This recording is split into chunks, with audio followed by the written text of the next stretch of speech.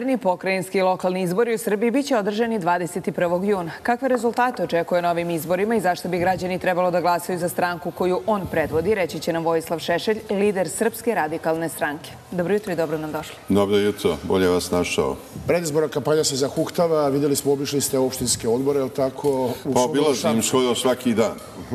Sutra nastavljam. Skoro, ne mogu baš stići sve opštine u Srbiji, ali najveći broj ću obići. Dobro, šta ste Tamo obišli do držim lokalne konferencije za štampu i kontrolišem kako su ovi naši se spremili za izbore, da li su predate liste na lokalnom nivou i tako dalje. I prilično sam zadovoljan. Imaćemo sada više lista nego ikad ranije na lokalnom nivou. A obišao sam Zapadno-Bački okrug, e, Mačvanski, Moravički i Zlatiborski jedan deo. Dobro, e, potpise prikupljate, niste imali probleme sa tim u tom procesu? Pa mi nemamo nikad problema, mi smo predali treći listu za republičke izbore, ali to je samo zato što su naprednjaci i socijalisti vladajuće partije. Da smo mi vladajući, onda bi mi predali prvi. Dobro. Jer oni nisu davali ove e, notare da dođu nama i overavaju dok oni nisu završili. E sad, Pa tako je bilo, izvini, molim te. To su još terali naprednjaci skoro do 50.000, je li tako bilo? Potpisa. Da ne bi neko drugi te građane doveo da potpišu. Pa onda socijalisti i tek mi treći. Ali zadovoljni smo što je to išlo brzo, uspešno i što su se naši simpatizeri i glasači odazivali. da li vam znači što je izborni cenzus spušten na 3%? Nama ne, jer smo ubeđeni da ćemo biti daleko iznad 5%. Ja računam negde oko 15% da je realno u sadašnjoj situaciji da dobiju radikali na izborima, ali nam je drago što je skinut taj cenzus pa da se još neka stranka nađe u parlamentu, jer teško bi neka prošla od ovih drugih stranaka, ne računajući stranke manjina. Manjinske, eto, mogu bar ove dve Po posebnom. najveće Mađari i muslimani. I Albanci, tri. E sad, vidjet ćemo. Imat ćemo onoliko glasova koliko građani nam daju na izborima, koliko za nas glasaju i koliko mi sačuvamo na biračkim mestima. To je veoma važna stvar na izborima, sačuvati glasove u kutijama. Dobro, nekada ste imali taj računski sistem koji je bio ne- negde, možemo reći, najbrži. Jeste, najbrže smo dobijali sa biračkih mesta podatke. Ključna je stvar dobiti zapisnik sa biračkog mesta. Dobro, ali I kod nas je to radilo perfektno i mi smo prvi u javnosti oglašavali rezultate. Ali tu je I oni su uvek bili kod nas najkorektniji, oni su kod nas bili najpouzdaniji. sve stranke u koje učestvuju na izborima imaju svoje E, predstavnike. to je problem sada. Što sad imaju dve vladajuće stranke svoje pre- predstavnike, odnosno svoje kontrolore Pa i radikali. Dobro. A ovi ostali ili neće imati nikako, ili će imati naprednjake da im kontrolišu u njihovo ime rezultate. Znate, mi imamo slučajeve gde su se na listi kandidata za lokalne izbore prijavili lokalni funkcioneri opštinskog odbora naprednjačke stranke, Srpske napredne stranke. Ima takvih slučaja, mogu vam imena navoditi tu, ali eto, da sad ne navodim pre izbora. Da li vi znate šta... Dakle, oni su se obezbedili na razne načine. Ne mogu ja da kažem to je nezakonito. Ali nije moralno. Dobro, znate li vi, znate li vi s kim ćete, s kim ćete vi ići u koaliciju s obzirom na s obzirom na, s obzirom na to kako je profilisan vaš e, ideološki, možemo reći, kon, Na lokalu kontekst? ćemo mi ići u koalicione saveze, ali da vidimo ko je prošao, ko prođe cenzus. U svakom slučaju možemo ići sa naprednjacima, do sad smo imali u dosta opština i te su koalicije solidno funkcionisale, sa socijalistima, sa penzionerskom strankom i da vidimo sad od ovih stranaka ko će proći. Šta mislite, ko će proći Mi ne bismo mogli sa prozapadnim strankama, ne možemo s ovim Savezom za Srbiju, ali to ne ide. Ne bismo mogli sa Borisom Tadićem nikad ni u jednoj varijanti. Jer on isporučio Haškom tribunalu Stojana Župljana, Radovana Kralića, Ratka Mladića i Gorana Hadžića. S drugim strankama možemo i obično te druge stranke rado prihvataju da su s nama u koaliciji. Čekajte, A na Starom gradu ste u koaliciji sa... Bastaćem. Da, i sa- Ali on je i Saveza za. Srbiju. Čekaj, polako. On je kasnije postao član Saveza za Srbiju. I ne verujem da ćemo ponovo, ako on izađe, da ćemo ponovo praviti koaliciju, jer se kompromitovo kad me zajedno sa Đilasom napao što sam držao promociju moje totomne knjige u Srebrenici nije bilo genocida u Skupštini opštine Stari grad, iako sam imao legalno pravo na to. Ali, mi smo cenili to što je on žrtvovao članstvo u demokratskoj stranci. Demokratska stranka je zabranila da se s nama ide u koaliciji, on je prekršio tu zabranu, s nama napravio koaliciju i isključen iz demokratske stranke. I mi ga nismo mogli ostaviti na cedilu. Mi se nismo slagali s njegovim konkretnim potezima, pogotovo ono na ulicama, na trgu Republike i tako dalje, šta je radio. Ali je koalicija u opštini solidno funkcionisala. A, neki su govorili da ima kriminalnih afera, a na kraju ništa nisu dokazali. Jer ako je bila afera, trebalo je procesuirati. Ja sam im rekao da prvo vidimo, dokažete to na sudu, pa ćemo onda. Jer su nas napadali na prenjaci u Narodnoj skupštini, što mi njega na- napadamo i što smo i dalje s njim u koaliciji. Kad je on ovakav i onakav. Dobro, šta je vaš... Moj odgovor bio dokažite prvo.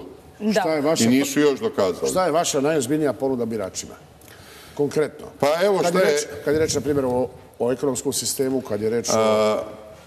Naš se program zna još od 90. godine i tu se ništa bitno nije menjalo.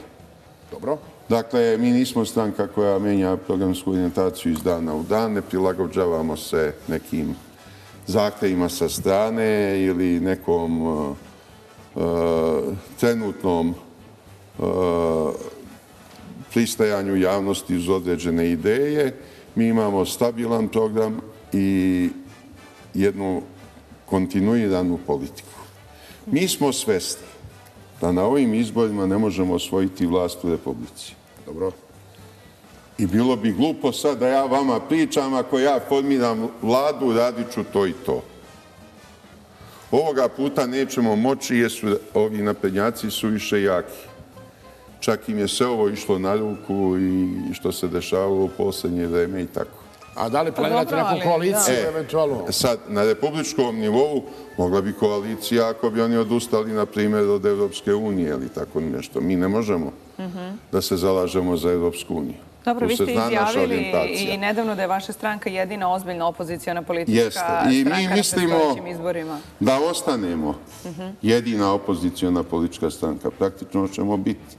Možda će neko od ovih strančica i da prođe cenzus, ali nema tu ozbiljnosti ako nemaju stranačku infrastrukturu, ako nemaju uigranu poslaničku grupu i tako dalje.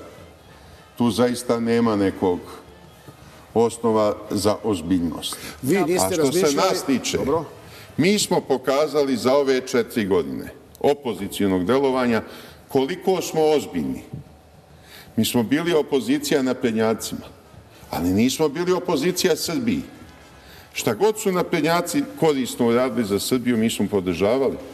Mi smo podržavali približavanje sa Rusijom, nabavku po, po, pod povoljnim uslovima ruskog naoružanja, e, kineske investicije u Srbiji, produbljivanje prijateljstva sa Kinom uopšte i sa drugim prijateljskim zemljama. Tu su i Azerbejdžan, i Belorusija, i neke arapske zemlje, azijske zemlje i tako dalje. I latinoameričke zemlje, i Venezuela, i Kuba i tako dalje. Mi to podržavamo, ali smo također kritikovali mnoge ministre zbog kriminala, zbog korupcije. Ja se čudim što ih Vučić nije posmenjivao pre izbora. A to je već- Mi smo, mu, mi smo tražili rekonstrukciju vlade pre izbora, to bi mu bilo pametnije. Ali pogledamo- Sad ide sa jednim hendikepom na ove izbore. Dobro. Jer vuče one koji su dokazani Pa vidjeli ste šta je Zorana. Mihajlović uradila. Uhapseo je direktora sa železnice, pa ga puste da se brani sa slobode, a ona mu organizuje svečani doček u svom ministarstvu. Još ispred zgrade ministarstva. Si ti dobio zadatak da se ne sme pomenuti nijedan ministar? Ne, ne. Niko iz vlasti. Ne. Što uzdišeš odmah? Ma ne bre, hoću da vas pitam. Ne, hoćemo da se pozabavimo našim planom i programom. Zašto ste toliko protiv, protiv članstva Evropskoj uniji i evropskih integracija i na koji Zato način, kako da, se približimo, dobro. kako da se približimo Venecueli? Vi, E, Pazite, krivo- je veoma bogata zemlja. Ima o, među najvećim zalihama nafte na svetu. A malo daleko. E, Nije problem što je na daleko, nego što je sada pod sankcijama. Treba je biti prijatelj dok je pod sankcijama, a onda će ona znati da ceni to kad se ukinu sankcije. I s njom možemo trgovati maksimalno. Znate, ona ima naftu, a mi imamo da ponudimo i naša preduzeća da rade tamo, imamo da ponudimo ogroman broj proizvoda naše industrije, naše poljoprivrede i slično. To je vrlo perspektivno. Ali treba će da prođe još vremena dok, oni, dok im se ukinu te sankcije, blokadu dok im Amerika ukinu. Dobro, kakav vi rezultat Srpske radikalne stranke očekujete na ovim izborima? Da li bolji ili lošiji nego prethodnih eh, Pa godina? rekao sam vam to već tu, negde oko 15% mi se krećemo, ali od nas zavisi koliko ćemo sačuvati. Prošli put na izborima nam se desilo na desetak mesta da su nam kontrolori bili sa tog biračkog mesta i da smo imali nula glasova. Znači, ni kontrolori nisu glasali za nas. Moguće. Za koga su glasali, Sve ko je- ih je potkupio? sve je moguće. Neko ih je potkupio. Ne mora da bude.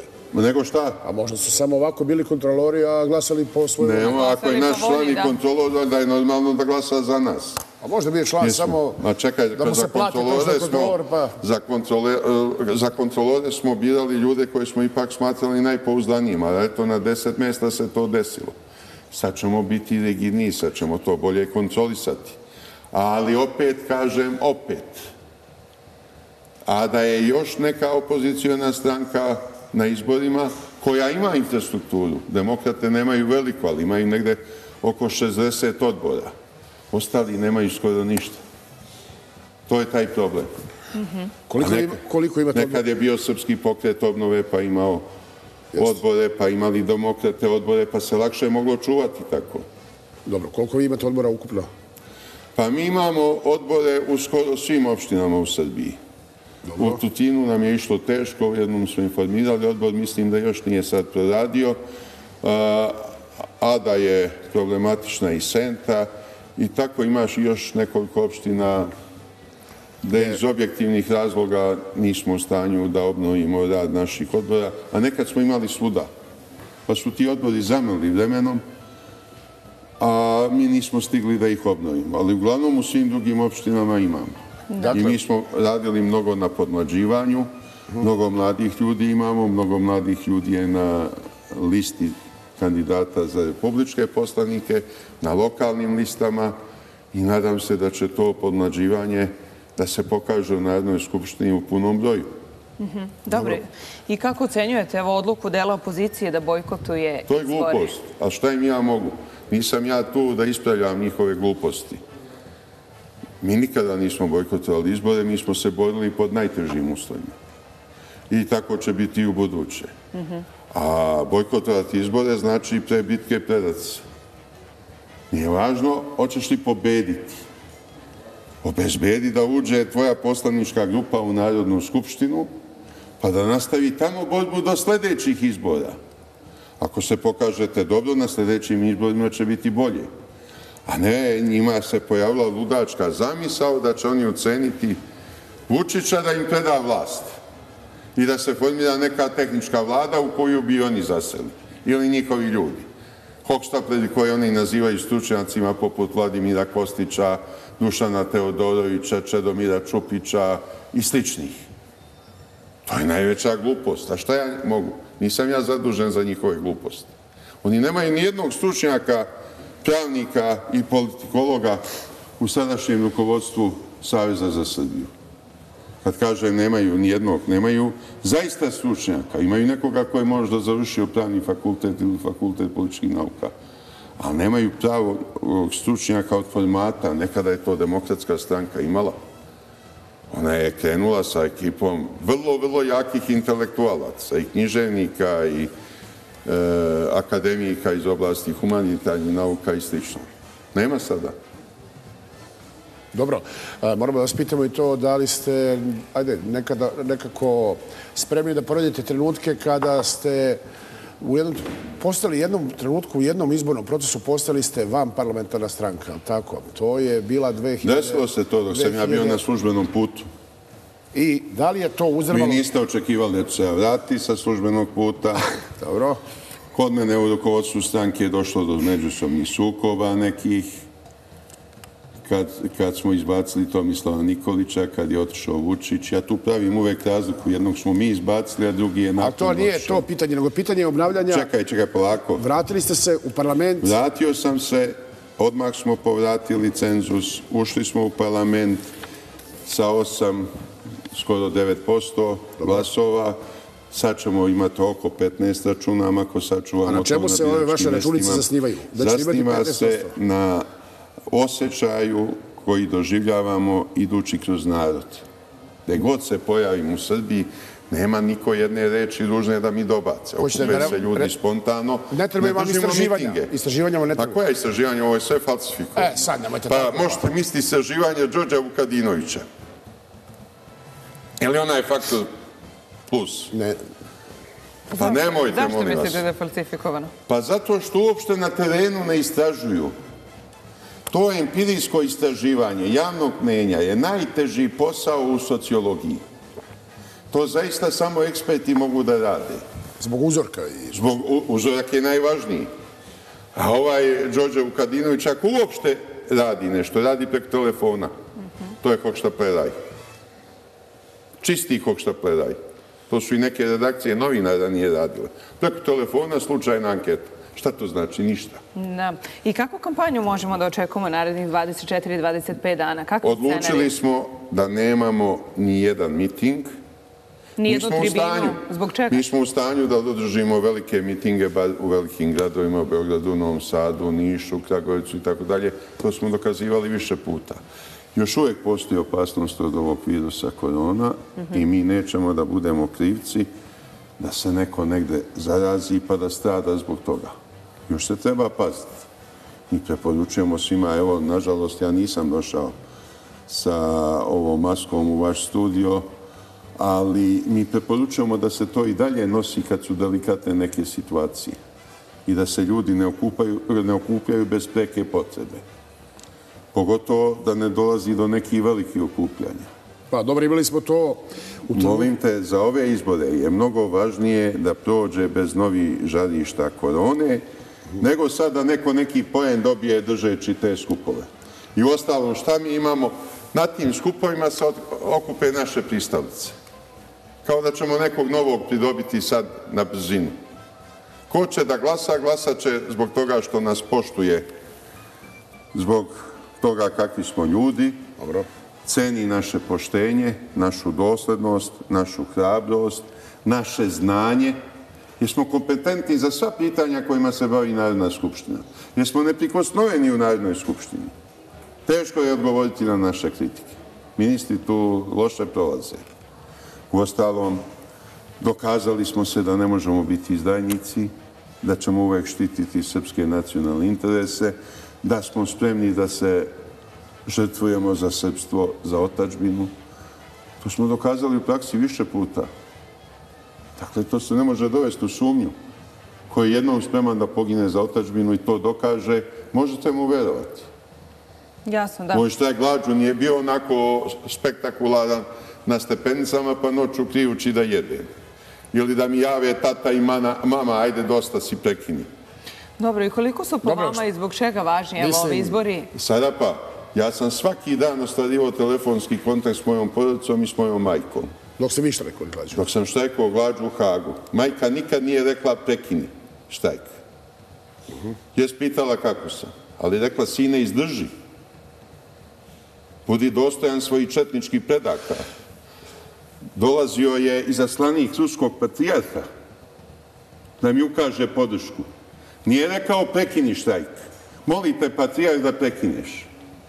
Ili da je poručio kao što se dešava kod nas, meni iz Sinoda Srpske crkve, nažalost, nije stigla nikakva poruka. Ali mi je redovno dolazio tamošnji e, sveštenik e, Vojo Bilbija i 5-6 puta sam se pričestio tamo. Evo, gospodine Šešin, tu Posjećivo smo, me u zatvor. tu smo Ali negde... došlo je iz Rusije, od ruskog patriota izdrži.